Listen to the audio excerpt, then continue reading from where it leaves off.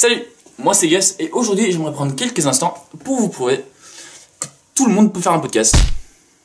Donc, dans un podcast, excuse-moi, oui Ouais, c'est que la semaine dernière t'as dit qu'on devait plus appeler ça des podcasts mais des vlogs. Pas faux l'ami. Mais c'est que là j'ai mis podcast dans le titre pour que des gens cliquent dessus. Ah. Donc, dans un vlog, tu peux évidemment parler de tout ce que tu veux. C'est le but. Mais imaginons que vous êtes normal.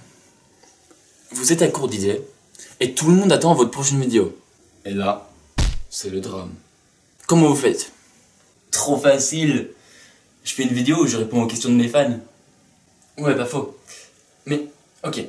Imaginons, même situation. Norman, c'est toi. T'as pas d'inspiration. Les deux dernières vidéos que t'as sorties, c'était des réponses aux questions. Et là, le drame Tout le monde attend une vidéo. Comment tu fais? Hum. Eh bien, tu fais un vlog. Attention, sur le premier truc qui te passe par l'esprit. Oui, oui, réellement. Sur n'importe quoi. Sans rire.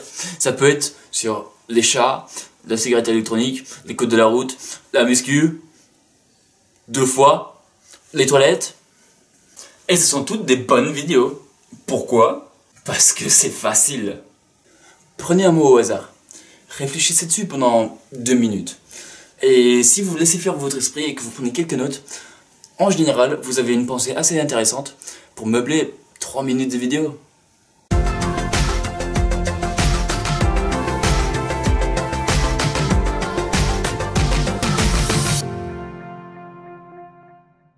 Quand vous avez fait un peu de lycée, vous savez écrire une dissertation. C'est long, c'est compliqué, c'est chiant. Maintenant, cette dissertation, tu l'écris sur le sujet que tu veux. Et au lieu de prendre des tournures soutenues, eh ben, tu l'écris comme si tu l'écrivais pour un bot. Tu balances 2-3 vannes pour pas qu'il s'ennuie, mais tu suis la même logique. Analyse du sujet, problématique, recherche d'idées, faire un plan, argumentation et exemple. Et puis tu bidouilles une intro et une conclusion entre deux cours. On l'a tous fait. Ceci dit, on est d'accord que cette démarche c'est pas la seule qui existe pour écrire un vlog, mais passons. Dernière différence entre le vlog et la dissertation, c'est qu'au lieu de le rendre à l'écrit, et bah tu le dis à l'oral, devant une caméra. Waouh, c'est trop cool les podcasts.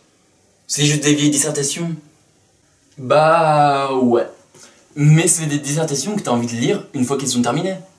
C'est des choses qui touchent à la vie de chacun, et du coup des choses qui peuvent t'intéresser à tout le monde. C'est comme dans la dernière vidéo de Norman, il a parlé de diarrhée pendant 6 minutes. Ah non, il l'a supprimé. Il m'a vu arriver ce con. Mais comme tout le monde a déjà vécu ça, on est d'accord, je parle toujours de la diarrhée. On peut tous se l'approprier. C'est comme dans les vines.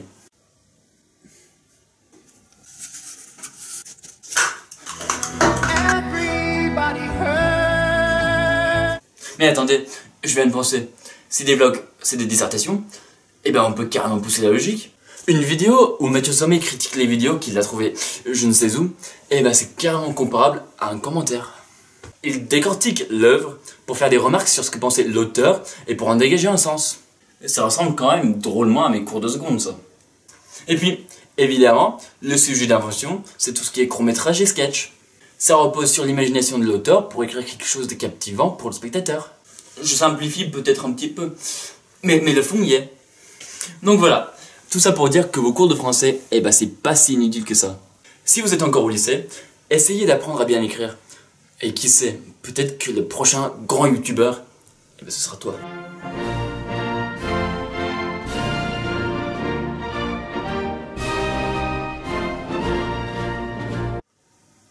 Bon, j'ai divagué un peu là. Je vais pas avoir le temps de vous prouver qu'on peut faire des vlogs sur tout. Du coup, retrouvez-moi très bientôt pour mon vlog sur les chaussettes. Oui, sans blague. Elle sort dans une semaine.